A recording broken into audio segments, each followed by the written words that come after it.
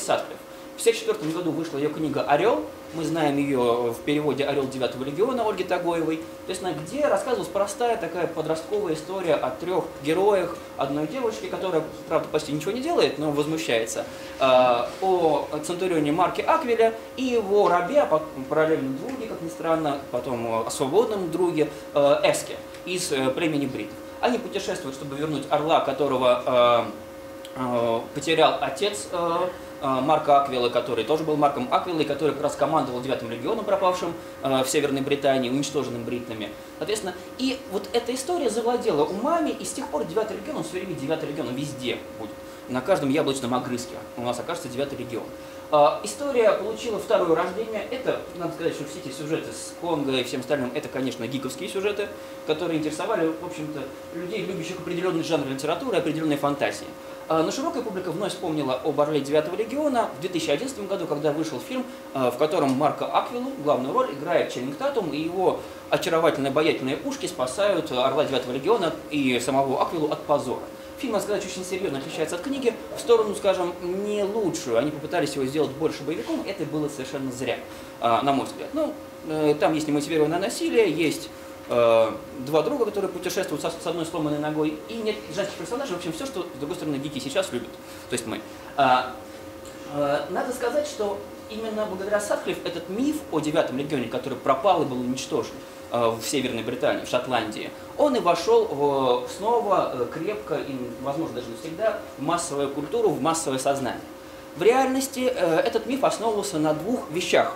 Когда Сатклифф писала свою книгу, она думала о двух вещах. Вернее, об одной вещи и об одной теории научной.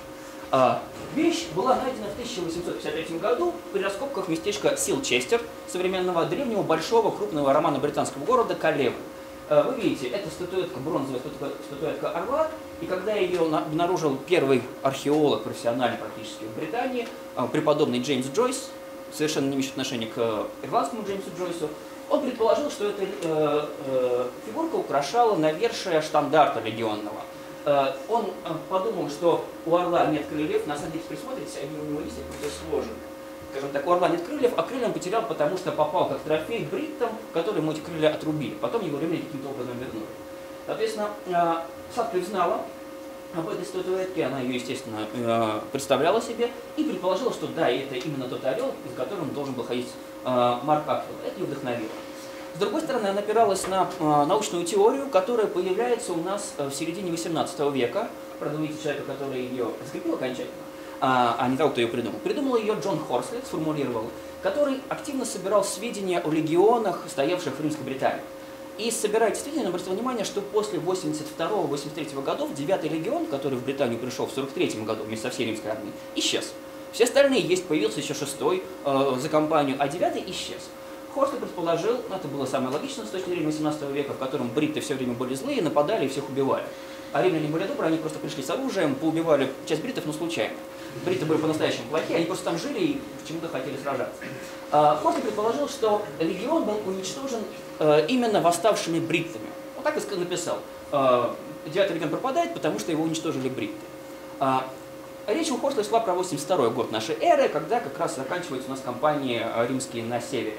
А, в XIX веке э, наука продвинулась вперед, э, но не в вопросе с девятым легионом. В вопросе с девятым легионом было найдено несколько надписей, которые показали, что э, он существовал у нас до начала второго века, и ученые, это был сначала один из итальянских исследователей, фамилия сейчас вам не важна, потом узнаете, может быть, Википедия, который предположил, что он был погиб в 110-х годах нашей эры, перед визитом в Британию Адриана. Сейчас мы потом скажем, почему именно Адриан. А, так получилось, что во второй половине 19 века с этой теорией о гибели 9 легиона во время а, войны с бриттами а, согласился а, наш великий антиковед, а, великий специалист по Риму Теодор Момсон. Его прекрасный, очень одухотворенный взор вы видите сейчас. А, Момсон был непререкаемым авторитетом, он остается одним из непререкаемых авторитетов в античности. Это человек, на которого обязательно нужно сослаться. Даже если ты пишешь э, записку маме, почему ты ушел из дома. Все равно сошлись на Момзена, это придает ей вес. А, особенно если мама тоже антиковед. А, Момзен сказал, что да, 19, о, 9 легион ну, у нас погиб во время восстания бритов, и сказал в каком году? В 119 году нашей эры. А, не важно, что на самом деле нет никаких оснований предполагать, что в это время была война с бриттами. Нет ни единого до сих пор свидетельства, что она была. Ни сообщения древних авторов, ни надписей, ни трупиков мы не нашли, ничего нет. Более того, есть э, основания полагать, что э, все было спокойно, потому что в это время римляне начинают строить свою парадную терминальную стену Адриана. Сейчас вы ее увидите. То есть у них все было нормально, они спокойно себе строили, все хорошо. Но Момзан был авторитетом, и поэтому, если Момзан сказал в морг, значит в морг. Э, с тех пор, со времени Момзана, во всех книгах, в Оксфордском путеводителе по истории Британии, в Кембриджской истории Британии, вплоть до второй половины 20 века 9 легион погибал именно в Британии и в 119 году. Не в 117, 118, не в 121, не в 110, а в 119 год раз и он умер. А, соответственно, а, поэтому благодарить мы должны за миф а, сознания не только Сатклифф, но и Момзена, и вот эту замечательную бронзовую статуэтку которая, как показывают современные исследования, никак не связана с легионом, потому что легионные орды делались по другим э, отливкам, они были совершенно другие. Эта статуэтка очень напоминает э, статуэтки, э, часть э, больших скульптурных групп, которые связаны с э, изображением Юпитера, главного бога Рима, соответственно, и э, больше похоже, что он, это часть большой скульптуры, которая не найдена по тем или иным причинам, по каким мы не знаем. Соответственно, э, э, Собственно, почему 119 год? Потому что в 120 году начинается строительство вот этого вот сооружения знаменитой стены Адриана или Адрианова вала, который э, разделяет э, северный, э, северный остров, часть острова Британии от юга. Соответственно, считалось, что эта стена была построена для защиты от бриттов, но в этой стене через каждые 10 километров есть ворота, которые слабо укреплены, и, соответственно, очень мало гарнизонных фортов, которые могли бы вмещать большое количество людей защищавших эту стену. То есть стена старалась не просто защищать, она обозначала символические и реальные, э, скажем так, границы Римской империи на севере. Это был своеобразный режим паспортного контроля. Поэтому предположить, что э, такую стену построили, чтобы защищаться от бриттов, нет э, для этого никаких оснований. В свою очередь, почему именно 119 год? Потому что когда начали строить эту стену, 9 легиона в Британии точно не было. Ее строил второй легион, ее строил 20-й легион, и ее строил э, легион 6, который только-только туда переместился. В связи с этим у ученых в середине 20 века, у тех немногих, кто решил все-таки перепроверить Мобзена, возник вопрос, а что же случилось с 9 легионом? Появилось множество предположений, но э, чтобы понять, на чем эти предположения строились, мы должны ответить себе на вопрос, э, какие вообще могут быть доказательства существования легиона. Э, здесь мы согласимся с нашим дорогим героем детства, нам нужны доказательства. И кокаину здесь не подойдет. А, как вообще проверить, узнать, где находился легион? А, если мы найдем, а, слава богу, какой-нибудь след римского сапога, мы никогда не определим, какой именно легион там стоял. У нас нет карт римского генштаба, у нас не сохранилось великого множества источников, которые нам позволят определить, где же находился и как передвигался 9 легион. Но есть несколько источников, которые немного помогают восстановить его траекторию движения и понять его судьбу. А, первые источники картины для этого нет, поэтому просто услышьте. Это античная традиция. Что писали древние авторы? Тацит, Дион Кассий о передвижении римской армии, о сражениях и прочее. Но надо сказать, что древние авторы мало интересовались судьбой каждого конкретного региона. Если он участвовал в сражении, прославился или опозорился, они об этом скажут. Если он не участвовал, да, и неважно, где этот регион находится. А, соответственно, с другой стороны, у нас есть вот такие вещи, мы называем их термином эпиграфика, а, надписи на твердых предметах. Надо сказать, что у, в римской империи э, была привычка, и в римской культуре была привычка оставлять надписи на всем, что есть. Вообще это была высокограмотная, э, скажем так, культура, э, культура, в которой письменность играла очень большую роль, хотя сейчас мы это часто не, не можем представить себе и понять.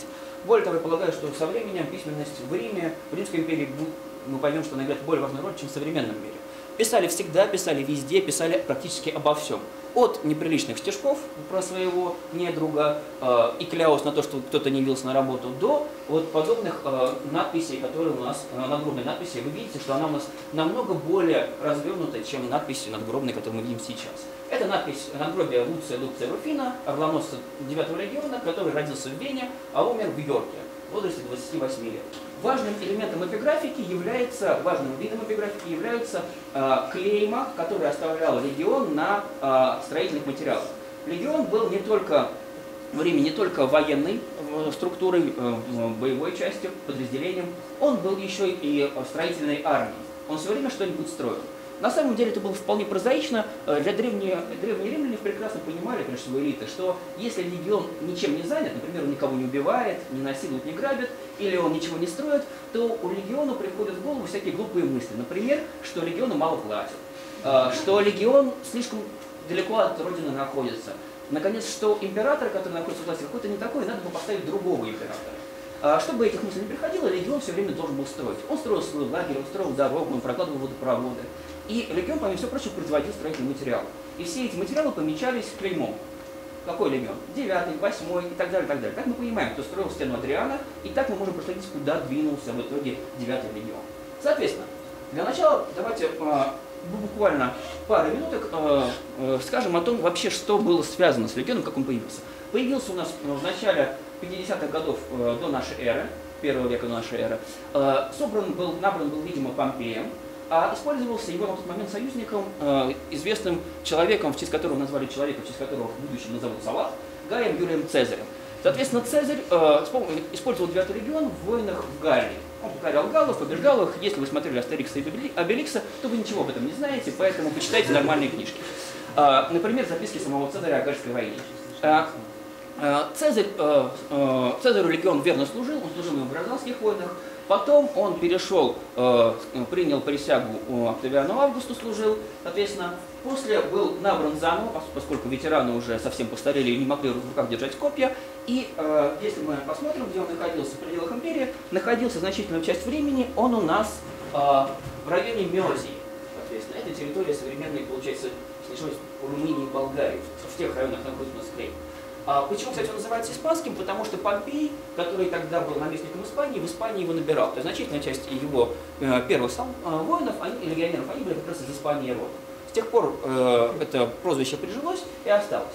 Потом легион в начале первого века э, нашей эры перебросил в Германию, а потом в 43 году нашей эры он у нас переместится в Британию, где, соответственно, будет активно воевать, но в Британии он прославился не успехами, в первую очередь, а тем, что э, потерял почти что половину своего состава в засаде от этой прекрасной дамы Булдики, э, который можно рассказать отдельно и бесконечно, но это должен рассказать специалист, а не я. Специалисты у нас, к счастью, уже в России появились по Булдике.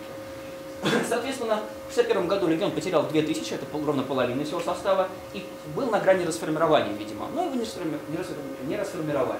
А впоследствии легион у нас появляется в походе на север, на самой севере Шотландии, где происходит битва при так называемой Графпийской горе. Мы не знаем, где это. Э, есть даже некоторые люди сомневаются, что вообще эта битва была. Считают, что ее придумали римляне, чтобы себя прославить, но, вероятнее всего, битва была. Другое дело, что найти ее пока не получается. Битва была большая, это была большая, последняя крупная битва на севере Шотландии, которую проводил у нас э, проконсул Агрикол знаменитый. Соответственно, в ней 9 легион участвовал, он был не главной ударной силой, но тем не менее он участвовал и вполне себе э, достойно. После этого э, Девятый легион ни в каких э, источниках древних авторов, сообщений древних авторов, не упоминается. Но есть несколько э, источников, которые позволяют нам сказать, когда он э, еще был в Британии. В частности, это вот надпись, э, соответственно, э, посвящение императору Трояну, найденная в Йорке. Ну, это, как вы понимаете, современная реконструкция надписи, а это центральная часть. Поскольку римляне делали, были очень э, людьми а, расчетливыми, прагматичными, они понимали, что когда-нибудь Рима не будет, а антиковеды будут, им нужно что-то изучать.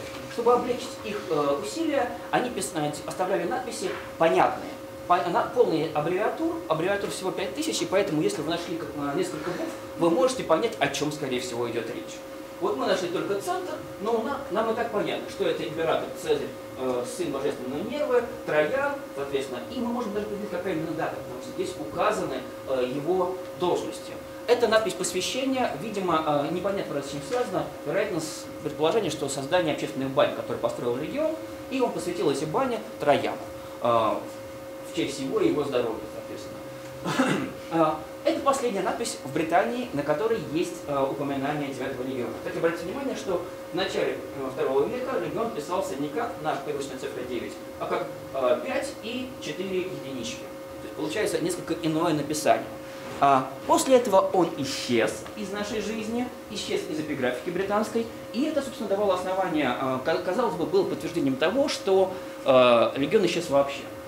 Как? Не очень понятно, но все-таки либо э, ксеноморфы на другой планете, либо все-таки бритты, одно из двух. Но дело в том, что эпиграфика же у нас находится не только в Британии, она находится в других провинциях. Надписей очень много, порядка 350 тысяч. И в 19 веке знать все надписи было, понятное дело, невозможно.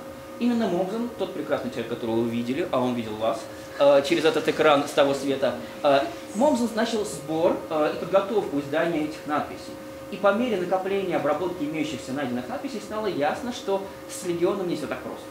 В частности, были найдены надписи, которые отражали у нас карьеру ряда э, известных политических деятелей второго века нашей эры, которые служили в девятом легионе. Э, и если смотреть на, на эти надписи внимательно, Э, то становилось понятно, что на самом деле они служили после пресловутого 119 года. К сожалению, этих надписей э, мы рассматривать подробно сейчас не будем, я просто объясню принцип. Надписи эти оставляли люди, которые уже многого добились. Это были консулы, это были наместники провинций, и надписи по традиции включали так называемый э, курс почестей, э, своеобразную, если можно выразиться, древнеримский вариант ксерокопии трудовой книжки, в которой указывались все должности, которых человек добивался, все почести, которых он добивался зная, при этом мы знаем, благодаря русскому праву, благодаря имеющимся источникам, в какие, с каких лет человек мог претендовать на ту или иную должность. И мы можем, отматывая назад от имеющейся должности консула или проконсула, можем, отматывая назад, понять, когда примерно этот человек мог быть офицером в 9 регионе. Нам помогает то, что мы встречаем в основном надписи, связанные с легионными трибунами.